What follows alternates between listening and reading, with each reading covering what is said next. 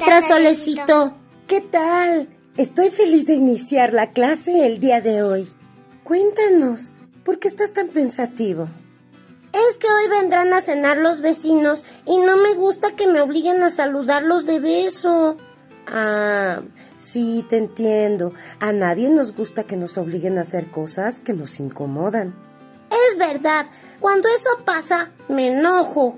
Sí, también pueden sentir asco o miedo, pero en todos esos casos pueden platicar con mamá y papá.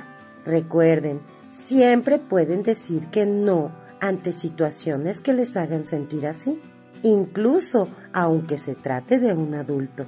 Mm, maestra, ¿qué otra situación puede ser? Por ejemplo, que alguien intente abrazarles, acariciarles a cambio de darles un regalo o pedirte que hagas algo que no te gusta a cambio de darte algo que tú quieres. ¿Puedo decir que no? Así es, en todos esos casos deben decir que no sobre todo si alguien intenta tocar sus partes privadas o quiere que lo acompañen a un lugar para estar a solas. Griten no, aléjense y cuenten lo sucedido a un adulto de confianza.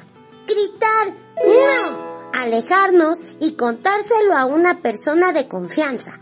Exacto, cuando gritamos no, además de poner a los demás en alerta, protegemos nuestro cuerpo y nos cuidamos.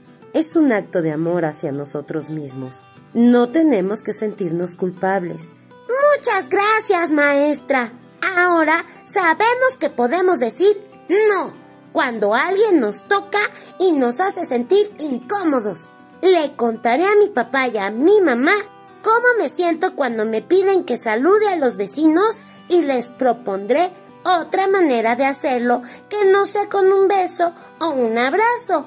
Ahora te invito a que hagamos juntos la actividad que aparece en el enlace. Será muy divertido. Y colorín colorado, el buen trato ha comenzado.